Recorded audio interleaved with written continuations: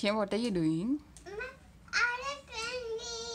Pinwheel. You're playing with pinwheel. Yeah. Good idea, Sharon.